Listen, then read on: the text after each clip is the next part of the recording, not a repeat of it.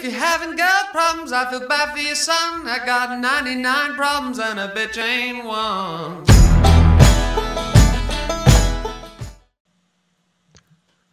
And we are Marvel Strike Force, 99 characters, but a Stitcher ain't one with Damian and Iain. I'm Damian Harmony.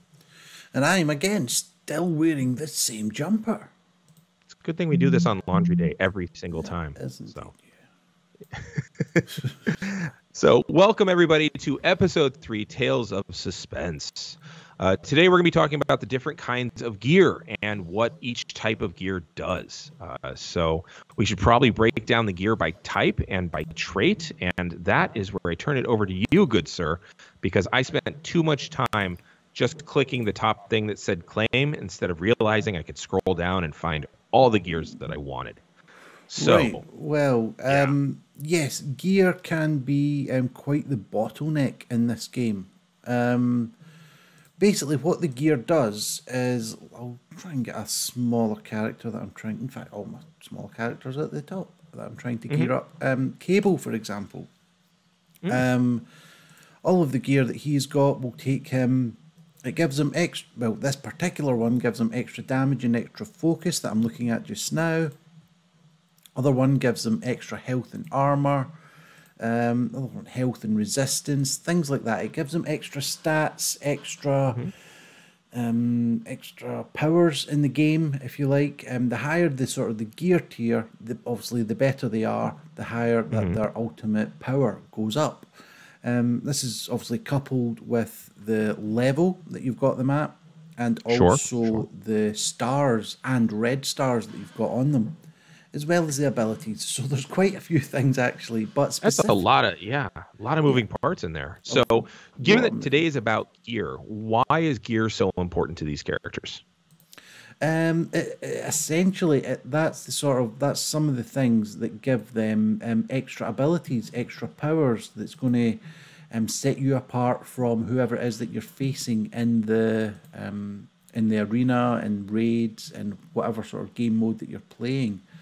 Um, The the refreshed the stores are refreshed every um, or three times a day Oh, Um, nice. that's sort of where you're getting a lot of your gear and a lot of kind of character shards as well. Top tip: do not buy any characters five pieces for 450 cores, unless it's a last minute offer for Jubilee or something like that. Don't do it. it's a complete waste of cores. And we'll definitely get into um, how best to use your cores um, in a future Oh, yeah. episode. Um, but yeah, the gear there are quite um, quite a few bottlenecks. Certainly throughout the last couple of years, they've sort of they've changed the bottlenecks of the gears. At the moment, I've got a little bit of a bottleneck. Um, it doesn't look like it, but 972 ABCs, as they're called. Um, they're ABCs. ABCs, Advanced Basic Catalysts. Gotcha. Um, they're the sort. They're the parts that pretty much every cat. Well, every character does need. It's every character needs those to progress through the gear levels. Um, Mm-hmm. There are other ones that um, that are more sort of specific to them. Um, I can't find any in the store. There's one there. The advanced resistance catalyst part. Um, Mm-hmm. That's for your likes of your well, it's looking like mutants and mystic that um, sort Sure. of need that most. Certainly on my roster, the likes of Thanos, Deadpool, uh, Cyclops, X twenty three, uh, Magneto, so on, so forth. Um, those are the sort of the kind of the bottleneck um, parts of gear. Um, then you get your more specific parts. Um, for the for this example, I'm using advanced cytoplasm, which I only have 65 of. Um, Now, for the characters I'm looking to upgrade, um, you're looking at probably around about 70, 80. It depends on the character, but I think it's round about 70 or 80 you need to get them to gear tier 13 or 12 in some cases. Um, And there are a whole load of characters that I'm looking to upgrade, including the likes of Colossus, Phoenix, Deadpool, Cyclops, X23, Magneto, Cable, Strife, Blob, and the list goes on. Um, now, if they're needing around about 65, 70, 80 um, per character, then that is where um, you need to start farming the gear um, in as much as you can in the stores for the currencies, and because all of the different stores offer different um, different types of gear, as I say, three times a day. Just sort of check on your your sort of stock, on your inventory of how much that you've got and who it is that you're looking to upgrade. Because you should really only be sort of concentrating on one, probably one team at a time or a few mm-hmm. characters at a time. Just take stock of it, how much that you need, and there's no harm in hoarding or buying gear for the next level as you come across it. Of course, that depends Okay. on the resources you've got. If you can only Sure. afford, if you only get a couple of thousand raid store credits, then don't go buying all the sort of things that you see. Um, I've got I've got forty three thousand raid store credits, and there's no particular characters I want to upgrade, so I'll just spend it on gear that I might need. Sure. Um, again, I've got about how much money? I've got 8.6 million. Um, if I see any sort of unique pieces that I might not particularly need today, but I think might become scarce or due to the algorithms um, in the future, then I'll just snap them up today and and see what happens in the future. So gear, the gear tiers are um, certainly important in my uh, Marvel Strike Force, but they are I wouldn't say they are the most important um, ability to upgrade. Okay, but they are one of the more noticeable uh, climbing ones. Like I've I've noticed Yeah. quite a level jump when I equip a character. Uh, you know, I hit equip, I hit that equip all button, um, Yeah. and it you know it cost me hundred thousand to equip them all. But then suddenly Cap is is protecting a lot better uh, Yeah. because now he's at you know gear twelve um, you know, which I think that might be my. I might have him at 13. Come to think of it, but that's that is my highest gear tier character at this time. Uh, how high up does it go, by the way? It goes up to 15. Uh, it just Okay. recently went up to 15. That's for the introduction of Dark Dimension 4. Um, Okay. Certainly, a top tip would be um, if it's not someone that you're going to look to push all the way, go to 12 and stop. Stop there. Okay, Stop I might 12. just stop everybody at 12 until I can decide where I want to go. Then. Because So- the resources that you'll need, especially if you're sort of early game or early mid game, Mm-hmm. the resources that you'll need to take someone from 12 to 13 could be Mm-hmm. better spent in bringing a couple of people up to 12.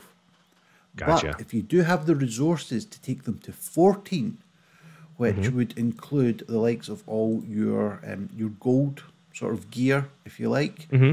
um, the more unique pieces, um, then take Mm-hmm. them to 14 because the jump between 12 and 13 isn't that much. Um, I don't know if you're looking, I think the numbers are something like 5 to 7% of a jump. Mm-hmm. Whereas from 13 to 14, you're looking at, I think it's something like 15 or 20%.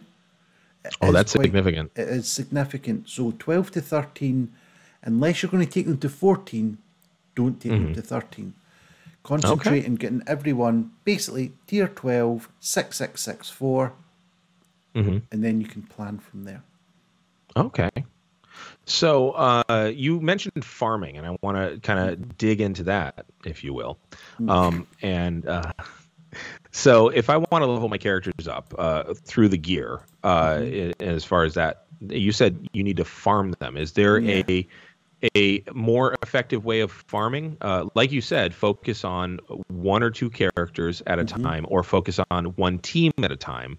Yeah. Get them essentially up to 12 and mm-hmm. decide if you want to go forward or not, mm-hmm. and then set them aside and then pull another team up to 12. But how do I farm the most universal pieces? Like where where's where am I going to find the, the the good stuff that will work for multiple teams so that when I finish farming this one, I'm already halfway up with the next one.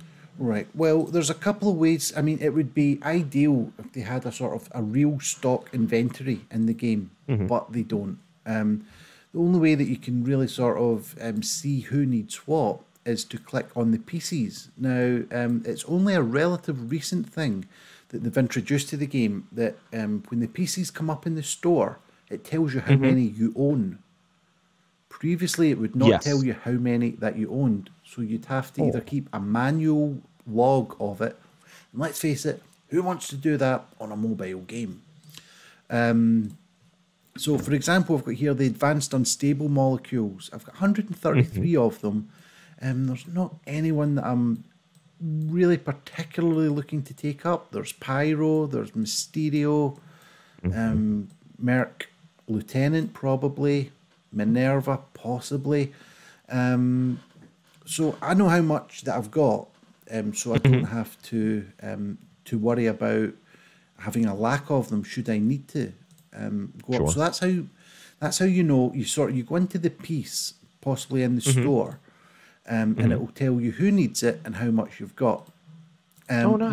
Now, if it's a character specific one, if you're thinking, right, I want to take Iron Fist um, Sure. up to the next level.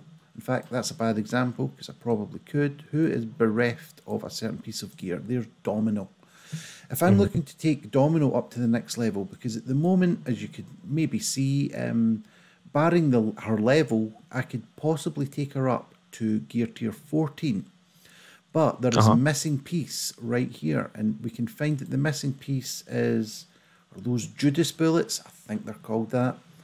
But it, it allows you in the character to find where you can get those Judas bullets. Get superior nice. Judas bullets. Oh, I amaze myself sometimes. Um, and it shows you all the different places that are available in the War Orbs, the Orange Elite Orbs, and of course, get your wallet out and get wrecked for thirteen. Well, thirteen pounds forty nine. I'm assuming that's about 15 16 dollars um, for ten Yeah. pieces of them, which is an absolute rip off. But that's the way that you can sort of see in the store. You can sort of see, or you can see, not sort of see. You can clearly see um, the pieces that you've got, who requires them, how many you have. But if it's a specific character that you're looking to upgrade, you go into that particular um, sort of plus or the find part in the gear, and you're able to locate where you can get those pieces of gear. Excellent. Okay. Well, that that helps. Um, it enables me to just kind of hone my focus a little bit more, and knowing that I, I'm doing it right by going per team and then shifting it off to the side and then bringing up the next team. Uh, That's not a bad way, especially since I'm still at that level where I have not been able to unlock the final level of the campaign for heroes or villains Right. uh, and I uh, I think I've I've gone all the way through. Yeah, I've done the same thing through uh, most of the others except for Nexus. Right. Um, my Cosmic Conflict, I've I've completely finished. Uh, my Mystic Forces, I only have Thor God to hit. Um, and then once I, you know, and I've completely done the Isotope Eight. So I'm kind of waiting on my heroes and villains so that I can then unload, open up the Nexus, so that I can then open up uh, the Doom War. So that's Yeah. that's where I'm headed. Well, that's So- that's the thing about the um, because I take it you've completed up to six in Heroes campaign where you can farm Captain Marvel. Um, Yes. If, you, if we can have a look at some of the enemies, they are around about ten thousand um, uh, health points um, per enemy. When you go Yeah. to the again relatively recently released um, chapter seven of that, Oh, good lord! um, you are looking at even on the first one Yeah, you are looking at 54,000. So it's about, That's- and that's Nobu as well.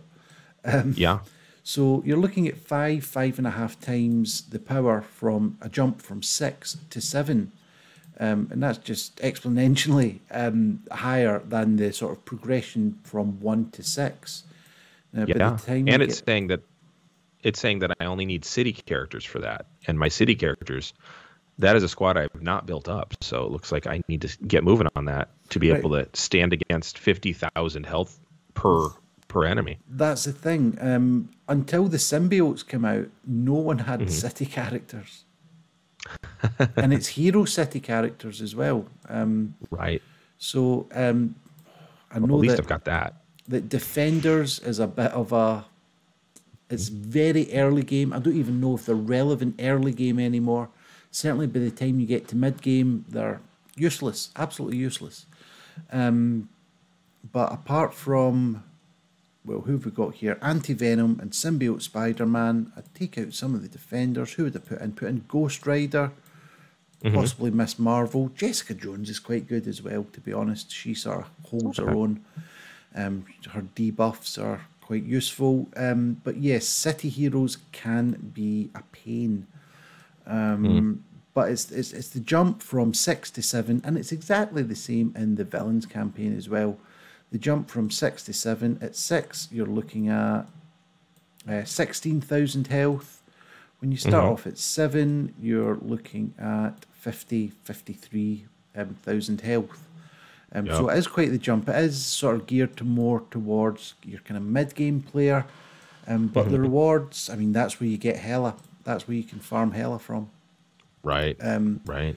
So um, certainly the best teams to sort of to concentrate on. Um, if we're going for um, heroes, well, for Heroes Chapter Seven, I'd probably recommend Avengers. They are. I'd probably say they'd get you through the start of that. Well, they wouldn't get you through the start of that because they're not a city. But um, Right. But yeah, that's the team that I've used uh, is my Avenger squad, and that got me all the way three stars, all the way through up through six. yeah, So Um, I'm just in a holding pattern. My villains I had to cobble together a lot more because I have this weird thing in me where I don't like to support bad guys. Uh, just not a thing I'm a fan of. It's silly because it's a game, uh, but it absolutely interferes with it. So I've gotten all the way up through six, nine, three stars all the way with a very cobbled squad of villains. Right. Yeah. Um, The best sort of one to go into because um, the villains, the villains chapter seven, um, you're starting off with. You can either do aim, Sinister Six, or Hydra. Mhm. I know you're not building up Hydra, are you? Uh, you know, I actually have started building up Hydra despite their Nazi affiliation because at least these guys are green. So. And also, my Hydra squad does not have Red Skull or Baron Zemo on it, so I, I feel okay about that. Well, that's the problem you're going to run into because if you've not got Baron Zemo or Red Skull, then they are mince, basically. Uh, Um, that's that's a bummer. the best one for that is aim to be honest um, if, if Oh. you're if you're opposed to red skull then certainly aim. Um, sinister six if you're lucky enough to get doc ock then stick him in. But to be honest if you're not able to clear 7-1 then you're not getting doc ock. Um, but Sin- Sinister Six are certainly a team that I would always recommend sort of newer players to build up because they can unlock you two legendaries. They can unlock you Shuri by being part of the Spider Verse, and unlock Invisible Woman by being part of the Sinister Six. So you're getting two Ah. unlocks if you build up Sinister Six. Um, I, you know, I might start tagging those. Okay. yeah. Um, without um, Doc, Doc Ock takes them to another level, a complete other level. Um, and they've got Swarm and Electro in as well, who are just, um, who are, again, relatively recent additions to the Sinister Six. Um, but the best sort of team to get through that, I would say, is AIM. Okay. Now, is MODOK a playable character yet? He is not a playable character yet. No, okay. I Oh, think that would be so cool. But Yeah. He is my son's in- favorite villain of all time. Like he absolutely loves MODOK. Just loves him, loves him, loves him. Has from the very beginning. Like one of his first Marvel dolls that I've ever bought him was a MODOK doll. Right. Like I had to search far and wide for that large-headed fool. But yeah, it was. okay, so build up aim, which I've done none of. Uh, so my my build up of Hydra is not uh, not going to work unless I. So essentially, I can't do Operation Paperclip Hydra. I have to actually bring over Nazis as well. You do. Uh. Ah, hate to platform those guys. All right. Uh, so, all right. So as far as gear goes, it is a bottleneck. It seems like it's very much uh, designed to get people to pay money uh, to to get through that. Uh, if you do grind, I can tell you, just grind away, and you can be working at other things, and that certainly pulls in the gear. Um, but it, it will be slow going. You can't you can't not whale your way through that and expect any kind of alacrity. Uh, so. And the All top right. tip as well is get yourself into a good alliance. Oh. Because if you're in a good alliance, then Mm-hmm. um, that actually sort of care about the alliance, then the amount of and ones that raid as well quite a lot, the amount of Mm-hmm. gear that you'll get from raiding and from alliance wins, basically the orbs that you get, um, hmm they're just because you're looking at what fifteen thousand. Certainly at the level that I'm at, I don't know if it's changed for the other levels, but um, yeah, the amount that you can, Okay. the amount of currency basically that you get from a good alliance um, that sort of takes their alliance seriously will get you to opening raid orbs, um, opening gear orbs, and that you'll get characters as well. But yeah, a good alliance is pretty essential. Okay, excellent. Well, there you go. Uh, so uh, you gotta you gotta basically work a team, bring it up, uh, work a few characters as you go uh, for plug and play. Get into a good alliance. Uh, you will run into bottlenecks regardless. So start uh, if you have the resources for it. Start grabbing things in advance of needing them. and Just hoard them so that they just feed in almost automatically. Um, those are all really good tips on on how to do that. Thank you, and I appreciate that. No worries. So, hey, where can people find you uh, out in the universe, uh, in in the internet world? In the internet world, well, um, if you have a look at I iMcPun on all your usual socials Facebook, Twitter, Instagram, um, Twitch as well, I think that's going to be up and running soon. Um, Search Iain MacDonald Comedy on YouTube. You'll find lots of material, lots of puns, lots of funny stuff.